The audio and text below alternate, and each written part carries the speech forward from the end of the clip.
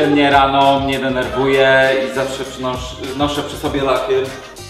Najważniejszy przedmiot. Szczoteczka do zębów. Telefon nie? Nie telefon, ponieważ jakbym robił selfie z brudnymi zębami. Selfie sobie zrobimy? Ulubione ubranie. Dres. A krawat? Bardzo lubię krawaty.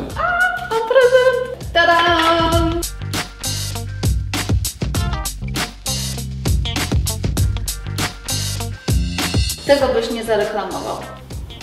Prezerwatywy. Najprzystojniejszy Polak. E, Oprócz mnie? Mój tata. Podasz mówią, że jest przysto- przystojniejszy ode mnie i wygląda jak brat. Krema? Zawsze. Najczęściej jesz pudełko. Znaczy pudełek nie jem, ale to co się znajduje, a jest tam przeważnie ryż i kurczak. A i tak kółko też i kółko. Ty za 10 lat?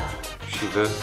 Nie wyobrażam sobie siebie za 10 lat, ponieważ w ciągu 3 lat wydarzyło e, się w moim życiu tyle, że nie jestem w stanie stwierdzić, co będzie za kolejne nawet 2 lata. Żona?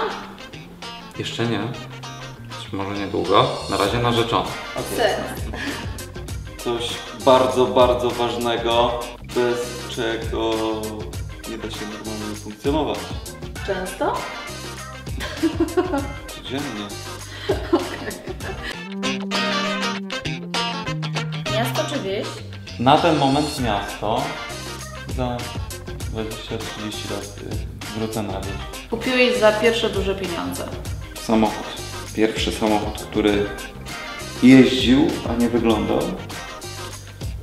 A później już też nie jeździł. Ale przez to nauczyłem się y, mechaniki i naprawdę rozbierałem samochody na części pierwsze. Tego nikomu nie mówiłeś. Nie mówiłem tego nikomu. Co to takiego? Ukradłem mojemu wujkowi y, motocykl. Chciałem zabłysnąć przed dziewczyną.